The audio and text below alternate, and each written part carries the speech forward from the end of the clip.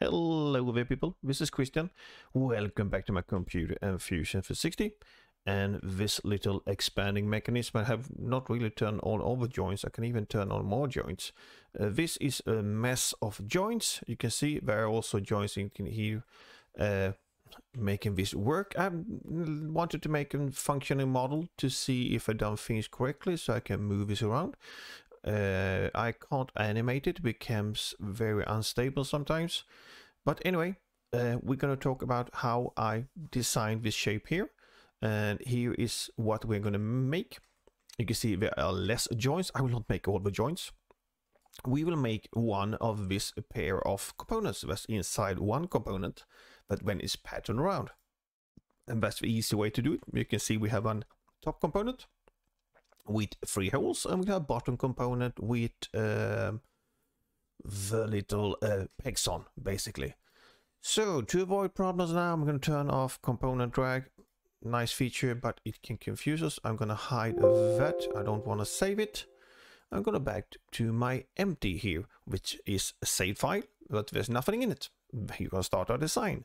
Step one, create new component. We need to use component this because we have multiple uh, parts. Link pair. So we're going to make two links within this. You can see it. Let's go back. We can see there are only two links and I just pattern around. So we have our new component here. It gets activated. We're going to create a sketch. Let's do it from the top. Start with a circle, C construction circle, and this is going to be a diameter when uh, the design expanded. I'm going to do it 400 millimeters. Move it slightly to the side. I need some lines. I'm going to do a line from here, from the center point to the circle. One line across. I'm using so I get the horizontal constraint. I don't need to add it by hand. Down here and one up the middle. So it's, this is like one segment, or here's going to be two links, one left and one right, or one top and one bottom. So this width of this angle here should be 360 degrees divided by the desired amount of links. And in the other files I have here, I've done 10, so for fun, I'm going to do 12. Sorry, get into the box, 12, like that. And I need to do some more things. I want to break this line in the middle because I want this split. We can draw it as two line, but we're going to use the break feature. It adds the necessary constraints and perpendicular stuff. So we still have a fully defined sketch. Gonna add a line here, a line here, and use the equal constraint between the line we broke and this and this. We are now fully defined sketch. This is the base geometry you need. Now I'm just going to show you how I played around with the geometry using the sketch, sketch, sorry, sketch solver. I made a triangle here. And then I made the same triangle a bit further down. Just sketching another triangle. Going to use the equal constraint, equal constraint.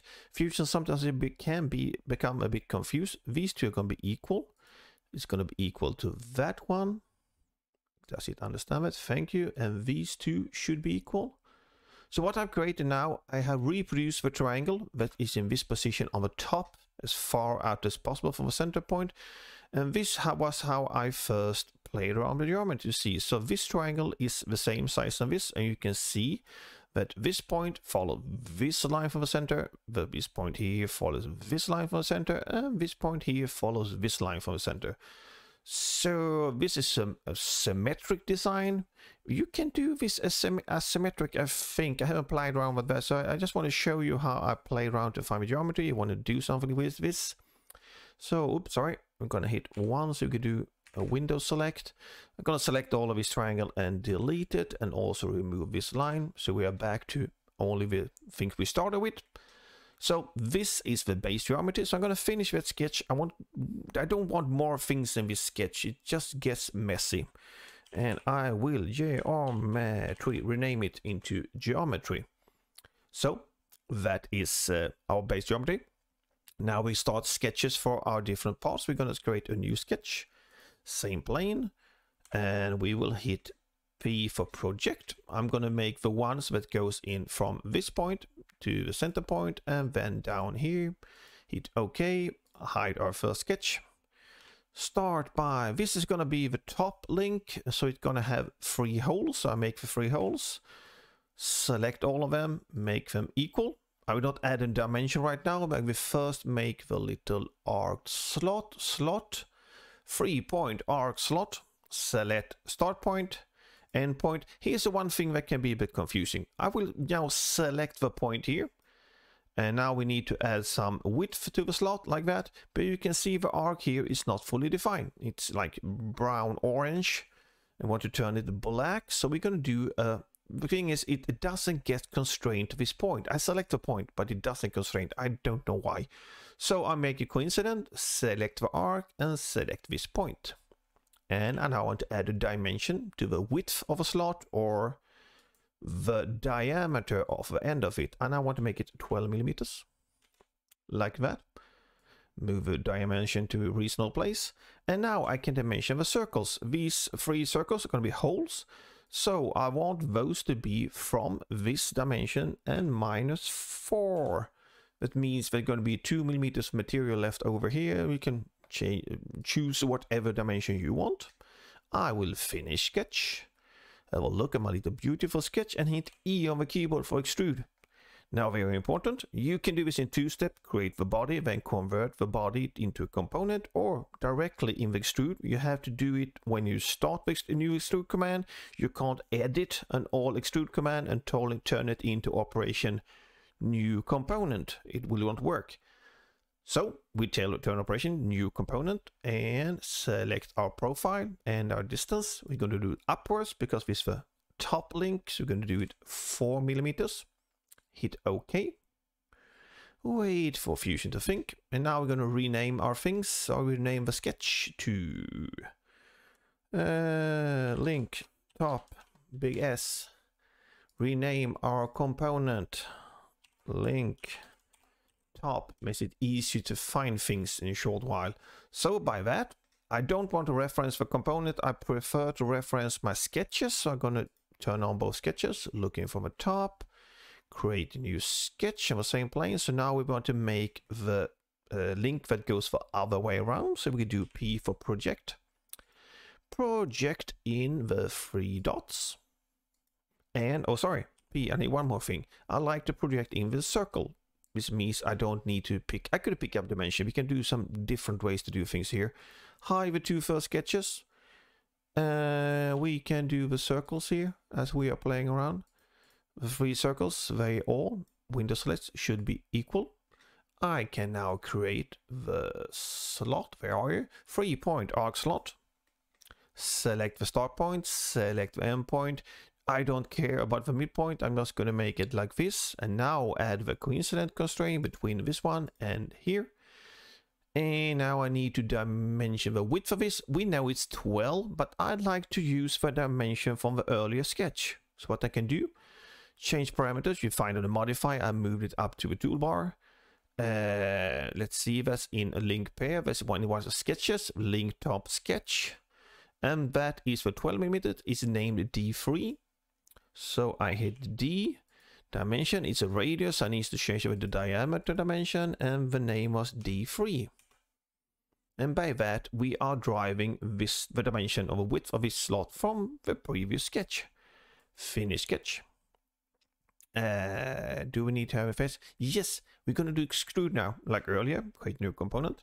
And I want to drive extrude thickness, thickness in both directions from the extrude I did earlier, creating the previous link. So once again, let's check in our parameters, link top, have a look at our extrude, and there's 4 millimeter and there's D5. So I'm going to do extrude. I'm going to select uh, all the profiles and do it minus d5 because this is the bottom one. If I look here, you can see it's gonna end end up below the other component. Gonna hide that and don't forget it now. I'm gonna switch over to, if you forget it, you can just do convert com body to component, but I'm gonna do a new component here.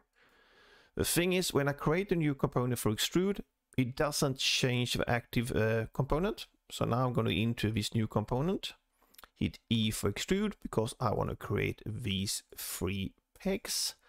And the distance is going to be D5 once again. Join, yes. And now we can start naming things. Uh, rename. Uh, link. Bottom. S for sketch. Rename. Link. Bottom. Like that. We can turn on our first. We're now going to move down so we get make the link pair the component for that, not the root level. The link pair the active component so we can see both parts. Hide the sketch for more visibility. And I'm going to do assemble as a build joint. Make sure the joint type is Revolute. There are some different versions. It could be rigid if you just want to keep things together. So I'm going to select the two components and it wants know the snap point, which is of course the center point here, and Fusion will do a small animation. We hit OK. So we now have a joint that is placed within this component, so we can go back to the root level, hit S on the keyboard and find circular pattern. Circular pattern of object type, going to be component. We select, select our link pair, so we get both of them axis is going to be the blue z axis and of course I've made previous is 12 uh, we decided that earlier so 12 is okay hit ok and we have as you can see because we place the joint within this uh, sub-assembly part of the assembly when you name it I don't forget, always forget what it's called this joint gets pat around between those these two so if I activate component drag, we can see that we have our components here, two and two and two, two. They are not linked together. So we need, if you want to do that, you can place the joints between everything here, do some motion links. It's quite hard to get these many uh, joints to work together. You need some motion links to help Fusion solve the movement of the uh, joints. But anyway, you have the basic shape here now. Now you can uh, go in and uh, like if you want to, these are now the same dimensions. So you might want to do some offset face, so you can do it in the sketch. Extend it. I, I would most probably try to expand, extend this upwards and add some type of locking tap or something. I haven't decided what I'm going to do. I'm planning to take this and now make it 3D printable so I can play around with it. Or you can make a hole straight through and do some type of uh, bolt and nut and washer or something, or screw, or something like that, any way you want. But this is the basic geometry, how I created this expanding mechanism. And I hope it can be useful for somebody. So I hope to see you around. Take care and goodbye.